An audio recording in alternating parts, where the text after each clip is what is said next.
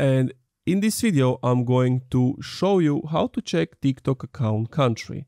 But before I show you how to do that, subscribe to the channel, it helps me out a lot. Now, there isn't a set that you can say, oh yeah, show me what country I'm in. It's more of a what content you will be shown to. You can always go to settings and privacy and go to like language and set app language like to English, uh, English, like everything English that you potentially get mostly English content.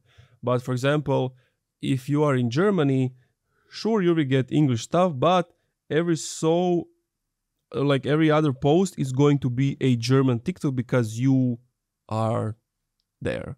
And that's the only way you are going to see uh, what, like, where are you're located by TikTok.